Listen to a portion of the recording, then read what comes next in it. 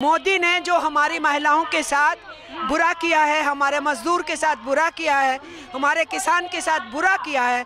मैं उसका व्याख्यान कर रही हूँ। तुम भीख फेंको और उस टुकड़े पे वोट मांगो, ये नहीं चाहिए। हमें डिग्निटी ऑफ़ लेबर चाहिए। मोदी सरकार जो कहती है, वो नहीं करती है। और जो बताती नहीं है, वो कर डालती है। जॉब दी नहीं जा रही, जॉब देने का ड्रामा चल रहा है। इस देश की सरकार ने जितना घटिया काम किया कोविड के टाइम पे, उनका हिंदू राज का नारा, देश को बांटने का नारा है। हमें हिंदू राज नहीं चाहिए, हमें और पाकिस्तान नहीं चाहिए, हमें खालिस्तान नहीं चाहिए, हमें हिंदुस्तान चाहिए। मंदिर बनाना अलग चीज़ है, मंदिर के नाम पे राजनीति करना अलग चीज़ है। ये सरकार की सोच महिला के बारे में दक्यानूस है। प्रधानमंत्री ने हर चीज़ पे यू टर्न लिया। 19 करोड़ के करीब भूखे थे, छह साल पहले, अब वो 35 करोड़ हो गए हैं तो ये कोई अच्छे दिन आ गए हैं।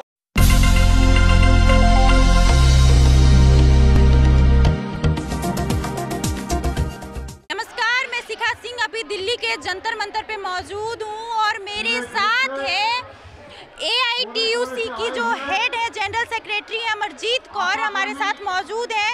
और ये आज यहाँ पे जो ऑल इंडिया संघ का जो मोर्चा है, आशा बहू आंगनबाड़ी, ये सारे मोर्चे को ये लीड लीड कर रही है। तो आप देख सकते हैं यहाँ पे तमाम महिलाएँ हैं, देश के कोने कोने से जो है, यहाँ पे महिलाएँ आई हुई हैं और मेरे साथ हैं अमरजीत कौर।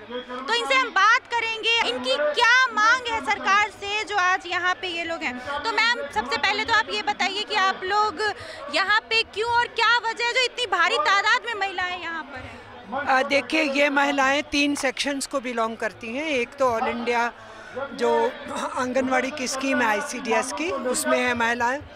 दूसरी है जो आशा वर्कर्स का प्रोजेक्ट चलता है देश में हेल्थ का, उसकी महिलाएँ हैं, उस यूनियंस की, और तीसरा है माध्यान्ह भोजन का। तीन अलग मंत्रालयों में पड़ता है, और ये स्कीम्स के तहत कार्यक्रम चल रहे हैं। इनको वर्कर का दर्जा नहीं है। काम इनसे पूरा लिया जाता है वर्कर स्टेटस नहीं है। आंगनवाड़ी वर्कर्स ने लड़ लड़ के अपना मानदेय बढ़वाया। बहुत सी सहूलतें थोड़ी ली। अभी भी उनकी पेंशनरी बेनिफिट्स की लड़ाई चलती है और भी सारा चलता है। पक्के आईसीडीएस के सेंटर मिले, वो सब चलता है। लेकिन जो हमारे आशा वर्कर्स हैं मिड डे मील वर्कर्स हैं, आप इमेजिन नहीं करोगे कि डेढ़ हज़ार रुपये महीना, दो हज़ार रुपये महीना की जो उनकी कमाई होती है उस पर वो ज़िंदा है परिवार, जिसके, जिस भी परिवार की वो महिलाएँ। तो मानदेय मिलता है, पर उनका मानदेय भी नाम मात्र है। तो ये तीनों सेक्शंस की महिलाएँ हैं और तीनों ही हम समझते हैं कि देश के लिए बहुत महत्वपूर्ण काम कर रहे हैं। एक तो बच्चों के पैदा होने से पहले से माँ का ख्याल रखना, बच्चे की माँ को जो जो इंजेक्टिव्स चाहिए इंटेक्स चाहिए, उसका ख्याल रखना। बच्चे के पैदा होने पे उसको जो इम्यूनाइजेशन के इंजेक्शन्स लगने, उसका ख्याल रखना। उसके पोषण का ख्याल रखना। तो ये तीनों जो सेक्शंस हैं, ये बच्चों और परिवार से डील करते हैं। और जो एमडीएम है, वो इस बात को डील करता है कि स्कूल का ड्रॉप आउट रेट कम हो जाए, बच्चे पाठशाला में रह सकें। गरीब परिवार हैं तो खाने की मुश्किल है। तो बच्चे को मध्यान्ह भोजन मिलेगा। तो पेरेंट्स को तसल्ली होगी कि कुछ पेट भर के आएगा, कुछ पढ़ के आएगा। तो एजुकेशन में और स्वास्थ्य के प्रश्न पे और महिला के प्रश्न के ऊपर ये तीनों बहुत स्ट्रॉन्ग स्कीम्स हैं। सरकार इनको कमज़ोर कर रही है। लड़ाई ये है कि बहुत बार इसका निजीकरण कोशिश करी, करने की कोशिश की गई, जिसको हमने होने नहीं दिया। हमने लड़ा, दूसरी यूनियनों को लिया, हमने जॉइंटली लड़ा। लेकिन अब इसका पैसा घटाया जा रहा है। सेंटर अपना हाथ पीछे खींच रहा है। 90 इंटू टेन का रेशियो था सेंटर और स्टेट का। सरकार 60 इंटू फोर्टी ले आई है और बजट्स भी कम कर रही है। और इनको निजी हाथों में देने की प्लान है ताकि सरकार इससे हट जाए। तो उन सारे इश्यूज़ को लेके यहाँ पहुँची हैं कि एक तो हमें कर्मचारी का दर्जा दो। पहली मांग तो ये कि रेगुलराइज करो। एक पर्टिकुलर कार्डर तक सब रेगुलर एम्प्लॉय हैं। सब गवर्नमेंट एम्प्लॉय का पेमेंट ले रहा है। और इनको शिक्षा विभाग, हमारी चाइल्ड एंड वुमेन डेवलपमेंट और हेल्थ मिनिस्ट्री तीन मिनिस्ट्रीज डील कर रही हैं। इनमें से एक एक स्कीम को। इनको केवल सरकारी कर्मचारी का दर्जा नहीं है। तो या सरकारी कर्मचारी बनाओ। जब तक वो नहीं बना पा रहे हो, इनको वर्कर का स्टेटस दो। वर्कर स्टेटस दोगे तो फिर इक्कीस हज़ार न्यूनतम वेतन की हमारी डिमांड है। जितना मालूम है कि देश के कोने कोने से महिलाएँ आई हैं, सारी। लेकिन सारे स्टेट्स में जो है अलग अलग मानदेय है। कभी कहीं किसी आशा को तीन हज़ार लग रहा है तो बिहार में किसी को छह हज़ार। ऐसा क्यों? ये इसलिए है कि जो तो आईसीडीएस स्कीम है, वो तो सेंटर का कॉमन मानदेय जाता है। और जो स्टेट का शेयर है, वो हर स्टेट सरकार तय करती है। उसकी वजह से अलग अलग राज्यों में अलग अलग राज्य सरकारों ने दिया हुआ है तो उसका डिफरेंस है स्टेट टू स्टेट यही चीज़ आशा में है। आशा वर्कर्स में इंसेंटिव बेस्ड स्कीम है। कोई फिक्स मानदेय नहीं है। तो अब उस इंसेंटिव के बेसिस पे किस स्टेट में उसको कितना वो कर पा रही है, उस पर निर्भर है।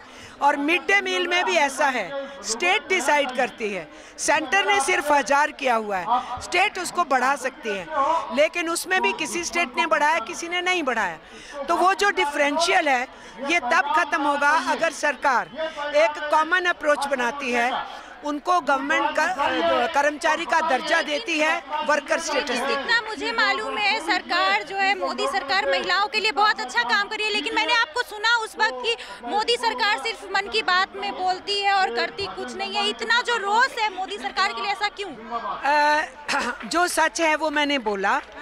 मोदी सरकार जो कहती है, वो नहीं करती है।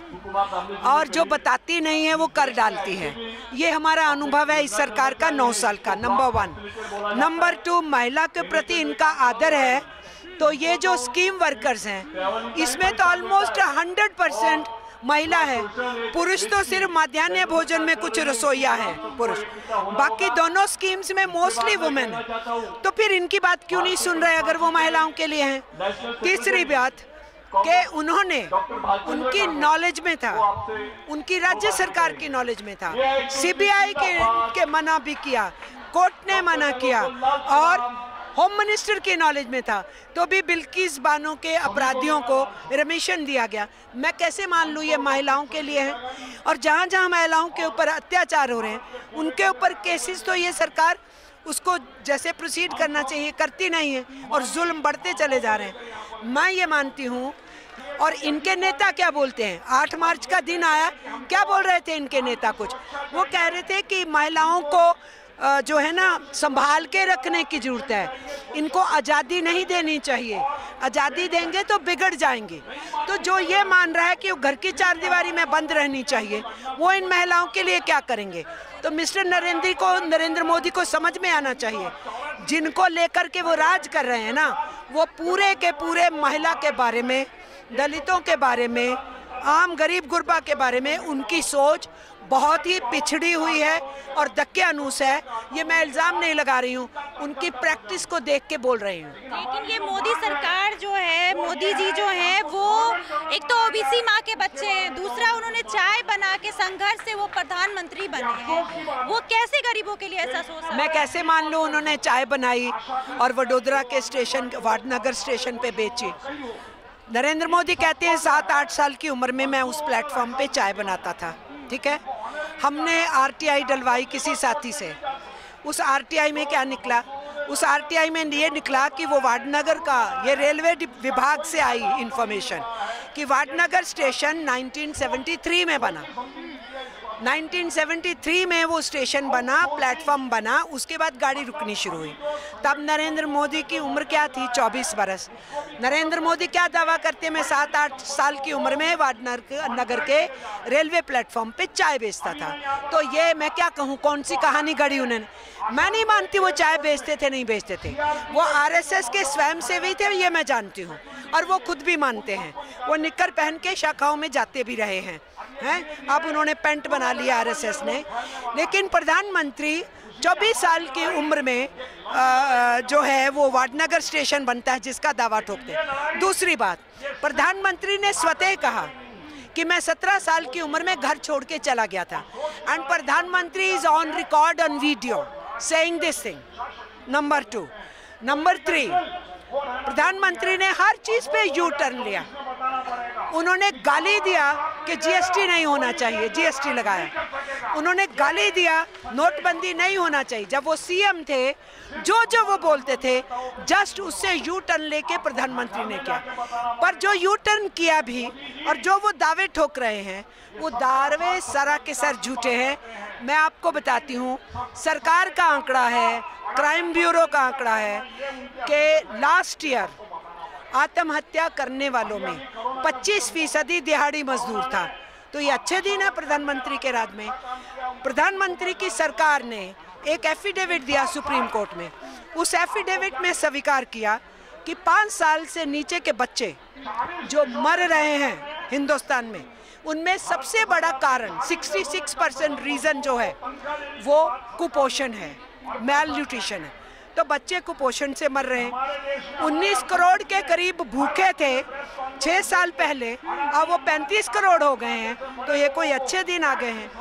एक एक इशू के ऊपर प्रधानमंत्री ने देश को पीछे धकेला है। हमारी स्मृति ईरानी जी जो हैं, वो महिलाओं और बच्चों की जो है मिनिस्टर हैं। और वो हमेशा कहती है कि महिलाओं और बच्चों के लिए वो अच्छा का, अच्छा काम कर रही है अच्छे अच्छे काम कर रही है। और मोदी जी भी बेटी बचाओ बेटी पढ़ाओ का नारा लगाती है और उस पर अमल भी करती है। वो जैसा बोलते हैं और उनके सारे जो कार्यकर्ता हैं बीजेपी के कार्यकर्ता वो बोलते हैं जब से मोदी की सरकार आई है आप ये बात से एग्री होइए या ना होइए लेकिन जब से बीजेपी की सरकार आई है बेटी बचाओ बेटी पढ़ाओ का नारा सबसे ज़्यादा लगा है। देखो नारे लगाना इस बात की गारंटी नहीं है कि वो नारों लागू हो रहे हैं। ये सरकार ही नारों लगा तो रही है। सरकार ही नारों की क्यों नहीं लगाएँगे वो? वो नारों पे ही ज़िंदा हैं और वो अपने दिए हुए नारे को जुमला बोल देते हैं। जैसे खुद अमित शाह जी ने बिहार में जाकर के कहा था जब से जब उनसे कहा पंद्रह लाख रुपए हमारे कहाँ है? हर एक को आपने देने थे तो वो कहाँ है? तो अमित शाह ने बड़े आराम से बोल दिया। अरे वो तो चुनावी जुमला था उसकी क्या बात करते हो? तो जो नारे लगा के बाद में उनको जुमला बोल देती है तो वो नारों पे ही सरकार ज़िंदा है तो नारे क्यों नहीं देगी? नारे तो सुंदर सुंदर गढ़े जा सकते हैं। मैं प्रैक्टिस की बात कर रही हूँ। प्रैक्टिस के अंदर बच्चियों का भला नहीं हो रहा शिक्षा महँगी हो रही है शिक्षा का व्यवसायीकरण हो रहा है। यूनिवर्सिटीज भी अब जो हैं विदेशी लाई जा रही है। रोज़गार भी तो दे रही है सरकार। रोज़गार छीन रही है। दे रही है। दे नहीं रही है छीन रही है। अगर 100 रोज़गार पैदा किए तो 500 रोज़गार छीने तो इसको रोज़गार देना कहेंगे क्या? अनएम्प्लॉयमेंट बढ़ी है फिक्स टर्म एम्प्लॉयमेंट आई है छप्पन लाख के आसपास सेंटर और स्टेट की सीटें खाली पड़ी हैं सरकार भर नहीं रही है। हर जो तीन रिटायर हो रहे हैं उन पे दो सीट भरी नहीं जाती एक ठेके पे रखी जाती है। और वो तो महकमा ठेके पे रखता है। सरकार कौन से रोज़गार दे रही है? कौन से रोज़गार दे रही है? हमारी नज़र में नहीं। आपको देख के आप, आप आप पत्रकार हो आप जानते हो हर महीने में कहीं ना कहीं किसी स्टेट में हज़ारों नौजवान सड़कों पे है कि हमारा एग्ज़ाम लिया हमारा रिज़ल्ट निकाला हमको अपॉइंटमेंट लेटर भी पकड़ाया पर हमको जॉब नहीं दिया। ये तमाशा लगातार चल रहा है। जॉब दी नहीं जा रही जॉब देने का ड्रामा चल रहा है। सरकार से खुश है मत, जो हमारी जनता है जनता जो है सरकार से खुश है तभी तो वो बार बार जीत रहे हैं। जीत रहे हैं। देखिए इनके भक्त बिल्कुल खुश हैं उनसे। जो मोदी जी के भक्त हैं वो उनसे खुश है मैं बिल्कुल मानती हूँ। लेकिन जनता खुशी से वोट दे रही है, मैं नहीं मानती हूँ।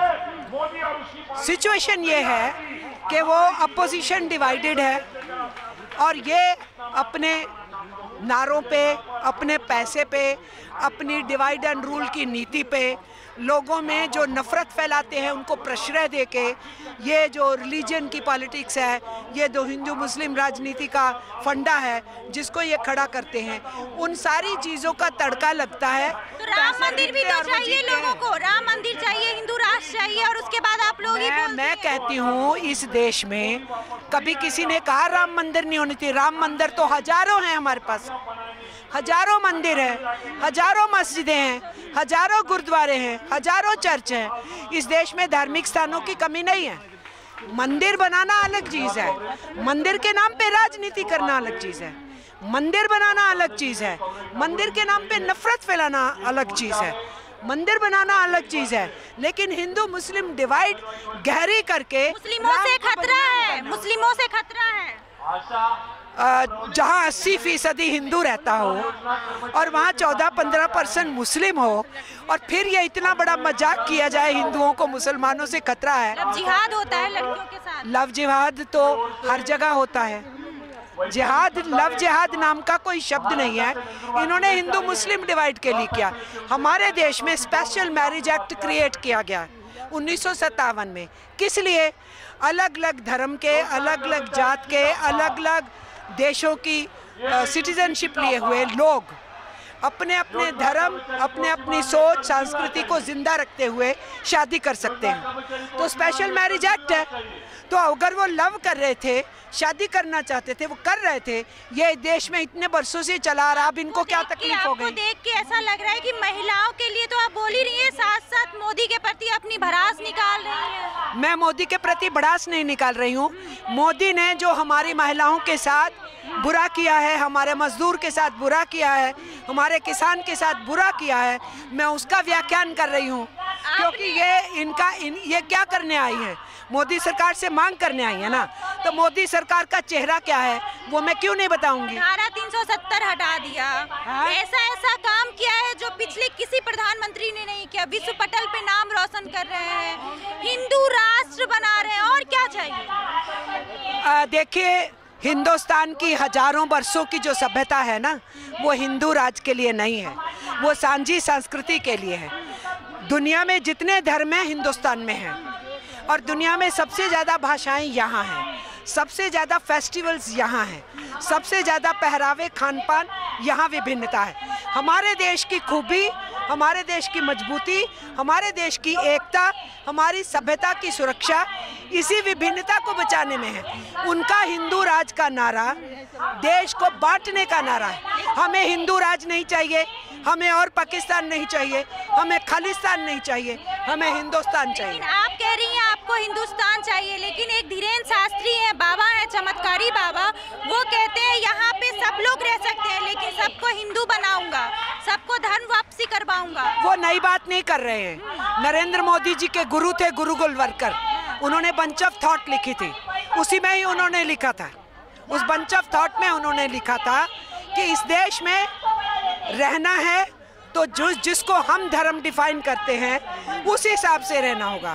That means second grade citizen की तरह रहो। अपना तुम्हारा कुछ नहीं है। तो ये किसी पुरुष को, किसी स्त्री को मारने जैसा है कि तुम कहो, तुम्हारी कोई पहचान नहीं है। पहचान वो ही होगी जो मैं बताऊँगा। ये ह्यूमन राइट्स के भी खिलाफ है, ये इंडियन कॉन्स्टिट्यूशन के खिलाफ भी है, और ये एक आम जो सोच होती है, उसके खिलाफ है। तो इनकी जो हरकतें हैं वो देश के कॉन्स्टिट्यूशन के खिलाफ है। तो आप असम के मुख्यमंत्री से एग्री नहीं करती हैं? असम के मुख्यमंत्री ने कहा है कि महिलाओं को इस उम्र में शादी करनी चाहिए महिलाओं को इस उम्र में बच्चे पैदा करना चाहिए। तो क्या गलत कर दिया आ, मैंने आपसे पहले ही कहा इनकी महिलाओं के बारे में सोच बहुत दक्यानुस है। वो महिला को वस्तु समझते हैं इस्तेमाल की। वो डिसाइड करेंगे वो कब उठेगी, कब बैठेगी, कब घर में रहेगी, कब बाहर रहेगी, कब बच्चे पैदा करेगी, कितने करेगी, कौन से करेगी। यहाँ तक इन्होंने विज्ञान का मज़ाक उड़ाया, बोले कि जब गर्भ धारण करना है तो तब कपल रहे, हम मंत्र पढ़ेंगे। फिर वो बताए, युधिष्ठिर जैसा चाहिए, कि अर्जुन जैसा चाहिए करण जैसा चाहिए तो वो मंत्रों से तय हो जाएगा। फिर वो जैसा बेटा चाह रही है, वैसा मिल जाएगा। इससे बड़ी गैर वैज्ञानिक बात हो सकती। तो इन डकियानूसी लोगों की क्या बात करें? इसीलिए आप कह रहे हो ना बड़ास निकाल रहे हो। ये जो हमारी महिलाएँ आ रही हैं, अपने घर परिवार को पालती हैं, थोड़े से मानदेय से पाल रही हैं, अपने बच्चे को पढ़ा रही हैं, प्रधानमंत्री क्या चाहते हैं? ये भूखों मरे, और उनके अनाज की वो एक थैली उनके चेहरे के साथ। बस उसको लेके सिर्फ़ पेट भर के सो जाए जानवर अस्सी करोड़ जनता को खाना दे रही है अस्सी करोड़ को अनाज दे रही है। यही एक रियलिटी है। अगर 80 करोड़ को अनाज दे के ज़िंदा रखा जा रहा है तो प्रधानमंत्री को मानना चाहिए कि देश की हालत बहुत बुरी है। लोग डिग्निटी से जीना चाहेंगे काम मिले और अनाज खरीद के भी खाना चाहेंगे। तुम्हारे आगे भीख मांग के और तुम भीख फेंको और उस टुकड़े पे वोट मांगो ये नहीं चाहिए। हमें डिग्निटी ऑफ़ लेबर चाहिए। लग रहा है कि 2024 में आप लोग, आप जिस प्रकार से बोल रही हैं तो आपको क्या लग रहा है 2024 में वोट की चोट देंगी? देखिए, हमारा काम है अपनी ट्रेड यूनियन आंदोलन को आगे बढ़ाना, अपनी मांगे रखना। सरकार हमारे प्रति निष्ठुर है, ये बताना। सरकार की पॉलिसियाँ गलत हैं, ये बताना। और आम जनता को कहना, डिसाइड करो, ये तुम्हारे खिलाफ है, तुम्हें इसको दोबारा रखना है कि उखाड़ के फेंकना है। ये जनता का काम है ये वोटों का काम है। आपने अभी बोला था कि इनको उखाड़ के मैंने बोला ये हम बोलते आए हैं जो सरकार निकम्मी है वो सरकार बदलनी है ये नारा तो हम सड़कों पे देते हैं। लेकिन आप कह रही हैं निकम्मी है और दूसरी ओर गृह मंत्री कह रहे हैं कि बीजेपी को कोई हटा नहीं सकता। जब तक मोदी जी हैं तब तक प्रधानमंत्री रहे ये फांसीवादी सोच है और मैं हैरान नहीं हूँ। ये फांसीवादी नाजीवादी सोच है। कि हमें कोई नहीं हटा सकता। इसका मतलब जनवाद में यकीन नहीं इलेक्शन में यकीन नहीं। जनता पे यकीन है जनता के प्यार पे जनता पे यकीन नहीं है। अगर जनता पे यकीन हो ये सेंटेंस नहीं होगा। आप ये कहेंगे कि जनता डिसाइड करेगी कि अगर हमने अच्छे काम किए तो हमें जारी रखेंगे। आप ये नहीं कहेंगे हम आ गए तो 50 साल तक रहेंगे। ये फांसीवादी नाजीवादी सोच है। और मैं हैरान नहीं हूँ मैंने आपसे कहा ना इसलिए हैरान नहीं हूँ कि इनके फाउंडर जो थे गुरु हेडगुआर इनके फाउंडर ने कहा था कि हिटलर और मुसोलिनी हमारी प्रेरणा है। नाजीवाद फांसीवाद हमारी प्रेरणा है। तो ये हैरान मैं क्यों हूँ? वो प्रेरणा है इनकी। इसलिए आज कुर्सी पे बैठ के इनको लग गया है कि हिटलर बन गए हैं ये। राहुल गांधी की सदस्यता गई है इस पर क्या कहेंगी आप? देखिए वो एक कानूनी प्रक्रिया है अब पर इतनी स्विफ्टनेस इतनी स्विफ्टनेस दिखाना कि उसकी सदस्यता लेना और फिर रोड़े अटकाना कि वो अपील ना कर पाए। कोशिश करना कि एक पर्टिकुलर पीरियड ओवर हो जाए ताकि उसको आठ साल से बाहर करें। तो ये कह रहे हैं कि हमें जनता जिताएगी। तो फिर डर क्यों रहे हैं राहुल गांधी से? ये अपने आप में बताता है कि ये जोरा ज़बरदस्ती से सरकार में रहना चाहते हैं। सारी अपोजिशन को ईडी का सीबीआई का एनआईए का यूएपीए का डर दिखा के उनको बंद करना चाहते हैं। राहुल गांधी राहुल गांधी ने भी तो चोर कह दिया। मोदी को किसी प्रधानमंत्री को आप चोर कहेंगे तो क्या होगा आपके साथ? देखिए उन्होंने क्या कहा क्या नहीं वो राहुल गांधी जवाब देंगे। पर मैं ये कहती हूँ, मेरा कॉन्स्टिट्यूशन देश का। मुझे इजाज़त देता है, सरकार की पॉलिसी से विभिन्न मेरी राय तो मैं रखूँ। अगर मेरे को सरकार से कुछ कष्ट है तो मैं उसके खिलाफ बोल सकूँ। सरकार से मांग रख सकूँ, उसके खिलाफ बुक हड़ताल कर सकूँ, उसके खिलाफ मैं पार्लियामेंट पे तो आप भी जेल में चली मैं तो तैयार रहती हूँ हमेशा। मुझे क्या परवाह? है मैं सीधा बोलती हूँ, प्रधानमंत्री नरेंद्र मोदी जी, आप अडानी को क्यों बचा रहे हो? अगर कोई चोरी चकारी का मामला नहीं है, आपका कोई लेन देन उससे नहीं है, हमारे पब्लिक सेक्टर से उसको इतना पैसा मिल गया, उससे इन्वेस्टमेंट करवाई गई, आपको डर नहीं है? तो पार्लियामेंट के अंदर क्यों नहीं मान लेते जेपीसी कमेटी? इसलिए कोई सीधे बोल देगा चोर। ठीक है? कोई आड़े से बोलेगा चोर कोई कहेगा कि अडानी को बचा रहे हैं तो वो भी चोरी होती है। उसके सपोर्ट में बहुत लोग आए हैं और बोला है कि अडानी को हिंडनबर्ग जो है बदनाम करने की कोशिश कर रहा है क्योंकि भारत विश्व पटल पे नाम रोशन कर रहा है। हिंडनबर्ग की रिपोर्ट बहुत देशों के बारे में आई बहुत कंपनियों के बारे में आई। किसी देश के लोगों ने नहीं कहा कि उनके खिलाफ साजिश हो रही है। किसी सरकार ने नहीं कहा उनके खिलाफ साजिश हो रही। पूरी दुनिया में हिंडनबर्ग सेवरल देशों के पूंजीपतियों पे रिपोर्ट्स निकालती है। अभी किसी और के बारे में फिर आने वाली है।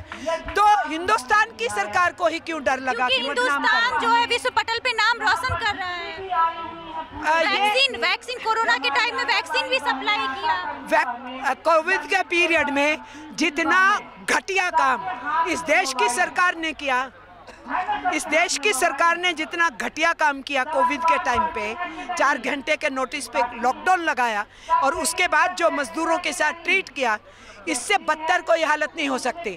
अपनी पीठ थपथपाने से कोई अच्छा नहीं हो जाता। मोदी जी आपको सलाम अपनी पीठ थपथपाना। हम जानते हैं कि देश की जनता बहुत कष्ट में है तैयार हो जाइए तो इससे पहले भी जो है आशा बहू की बहुत बार मोर्चा निकल चुकी है जितना मुझे मालूम है। लेकिन आपको क्या लगता है इस बार मोदी जी सुनेंगे? आप लोग बहुत भारी तादाद में यहाँ पे मौजूद है और आप उखाड़ फेंकने की बात कह रही हैं। देखिए उनकी जो सेल होता है खबरें मुखबरी का सेल होता है वो यहाँ से रिपोर्टें भेजेगा। तो उनकी मतलब है कि उन्होंने संज्ञान इसका लेना है या नहीं। ये उनकी मर्ज़ी है। हमारा काम था हमारे लोगों का आना और कहना। हमारा ये कष्ट है दूर करो नहीं दूर करोगे तो तुम्हें हटा दिया जाएगा। बहुत बहुत धन्यवाद हमारे साथ मैम थी और इन्होंने। कॉमरेड अमरजीत कौर जिंदाबाद। कॉमरेड अमरजीत कौर जिंदाबाद हाईटेक जिंदाबाद हाईटेक जिंदाबाद तो हमारे साथ में थी अमरजीत कौर, आपने देखा और यहाँ पे भारी तादाद में महिलाएँ मौजूद हैं। अमरजीत कौर का साफ़ कहना है कि अगर सरकार ने हमारी मांग पूरी नहीं की तो हम सब तनिक भी देरी नहीं करेंगे। 2024 में उनको उखाड़ के फेंक देने में।